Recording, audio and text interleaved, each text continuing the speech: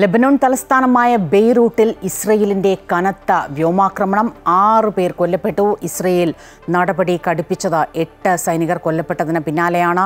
ഇറാനിലേക്ക് യാത്രാ വിലക്കുമായി അതേസമയം കൂടുതൽ രാജ്യങ്ങൾ രംഗത്തുണ്ട്. വിവരങ്ങളുമായി ശ്രീകാർത്തിക ചേരുകയാണ്. ശ്രീകാർത്തിക ഈ പറഞ്ഞതുപോലെ മണിക്കൂറുകൾ കഴിയുന്തോറും കൂടുതൽ രൂക്ഷമാകുന്ന ഒരു സാഹചര്യത്തിലേക്ക് പശ്ചിമേഷ്യയിലെ സ്ഥിതി പ്രത്യേകിച്ചും പ്രധാനമായും രണ്ട് ശക്തി കേന്ദ്രങ്ങളാണ് ഇറാനും ഇസ്രയേലും അടക്കമുള്ള രണ്ട് രാഷ്ട്രങ്ങൾ യുദ്ധമുഖത്തേക്ക് എത്തുമ്പോൾ അത് ലോകത്താകെയാണ് ഈ ആശങ്ക പടരുന്നത്.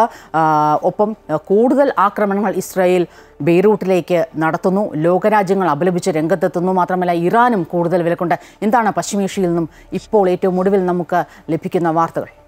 സ്വപ്ന സ്വപ്ന സൂചിപ്പിച്ച പോലെ തന്നെ പശ്ചിമേഷ്യ അശാന്തമായി തന്നെ തുടരുകയാണ്. ആക്രമണ പ്രത്യാക്രമണത്താൽ ഇരു വിഭാഗങ്ങളും തമ്മിലുള്ള ഏറ്റുമുട്ടൽ തുടർന്നുകൊണ്ടിരിക്കുകയാണ്. ഇന്നിപ്പോൾ പുതിയതായി ഉണ്ടായ ഏറ്റുമുട്ടൽ. ഇന്നലെ രാത്രി ലെബനനിൽ ഹിസ്ബുള്ള നടത്തിയ ആക്രമണത്തിൽ കനത്ത തിരിച്ചടിയായിരുന്നു ഇസ്രായേൽ നേരിടേണ്ടി വന്നത്. ഇസ്രായേലിന് എട്ട് സൈനികരെയാണ് ഇന്നലെ നടത്തിയ കര ആക്രമണത്തിൽ നഷ്ടമായത്. ഇതിന് തിരിച്ചടി എന്നോളമാണ് ഇന്നിപ്പോൾ ലെബനൻ തലസ്ഥാനമായ ബെയ്റൂട്ടിൽ വീണ്ടും വ്യോമാക്രമണം ഇസ്രായേൽ നടത്തിയത്. ഈ ഒരു വ്യോമാക്രമണത്തിൽ ആറ് പേർ കൊല്ലപ്പെടുകയും ഏഴ് പേർക്ക് പരിക്കേൽക്കുകയും ചെയ്തു. ഏതായാലും ആക്രമണങ്ങൾ തുടർന്നുകൊണ്ടിരിക്കുകയാണ് ഇരു വിഭാഗങ്ങളും തമ്മിൽ. അതുകൊണ്ട് തന്നെ സ്ഥിതി അശാന്തമായി തന്നെ തുടരുകയാണ്. ഇതുവരെ നടന്ന ഈ ഒരു ആക്രമണ പ്രത്യാക്രമണത്തിൽ അൻപതിലേറെ പേർക്ക് ലെബനനിൽ ജീവൻ നഷ്ടമായിട്ടുണ്ട് എന്ന് തന്നെയാണ് നമുക്ക് ലഭിക്കുന്ന കണക്കുകൾ. ഏതായിരുന്നാലും ഈ ഒരു ഇസ്രായേലിന് നേരെ ഇതിനു മുൻപ് നടന്ന വ്യോമാക്രമണത്തിൽ അതായത് അപലപിക്കുന്ന ഈ ഒരു വ്യോമാക്രമണത്തെ അപലപിക്കുന്നതിൽ പാളിച്ച പറ്റി അതായത് കൃത്യമായ രീതിയിൽ അപലപിക്കാൻ സാധിച്ചില്ല എന്ന് ചൂണ്ടിക്കാട്ടി U N secretary general Antonio ഗുട്ടറസിനെ രാജ്യം